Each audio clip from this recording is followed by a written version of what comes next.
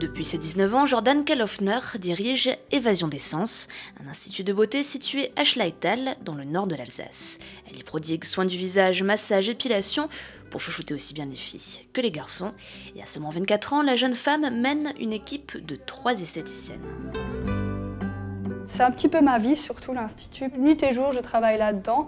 Je gère tout, c'est moi qui ai créé mes protocoles de soins moi-même. J'ai créé ma propre ligne de cosmétiques aussi.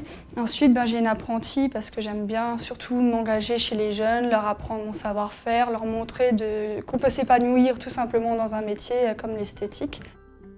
Et pour aller encore plus loin dans la transmission, Jordan pense déjà à la suite. Mon projet futur est de créer une école privée d'esthétique pour justement continuer dans la formation des jeunes parce que je tiens beaucoup euh, à ces jeunes personnes comme moi. J'avais 17 ans quand je suis rentrée dans l'apprentissage et je trouve que c'est tellement bien quand des jeunes commencent déjà à travailler et puis apprennent vraiment un métier. Un projet ambitieux qui prendra du temps dans la vie déjà bien remplie de Jordan. Entre passion, amour et travail, elle a trouvé son équilibre.